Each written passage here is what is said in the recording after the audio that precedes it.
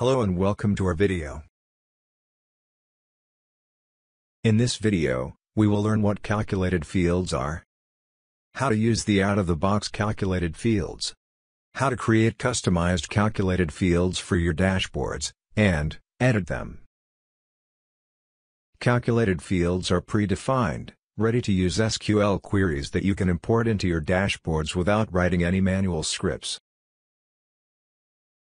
Calculated fields are available with the Service Management Query, and you must configure the BMC Helix ITSM connectivity before using this feature. Let's view the out-of-the-box calculated fields. BMC Helix Dashboards provides a range of out-of-the-box calculated fields. Here's how you can access these calculated fields. On the home page, hover over the dashboard's icon and click Calculated Fields. You will notice that the calculated fields are grouped by modules such as Incident Management, Change Management, and so on.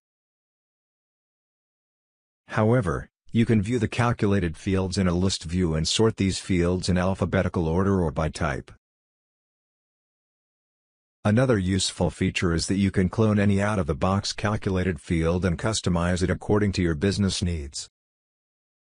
Next, let's see how to create a customized calculated field. Click New Calculated Field from the Calculated Fields homepage.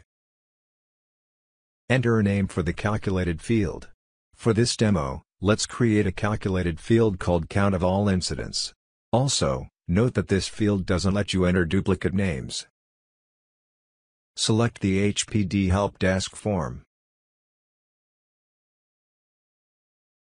You can either create a new module or select an existing module from the list. To create a new module, just type the name of the module in the module name field and click Create.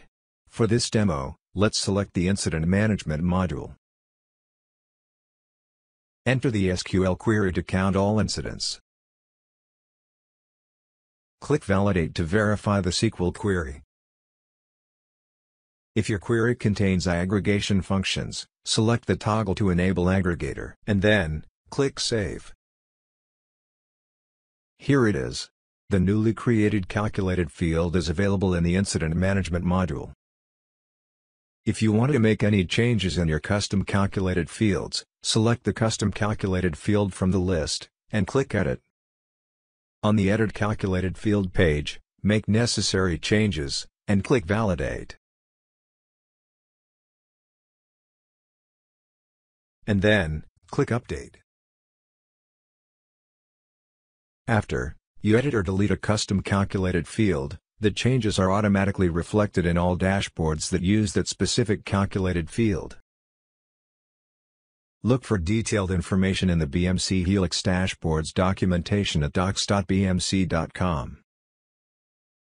Thank you for watching this video.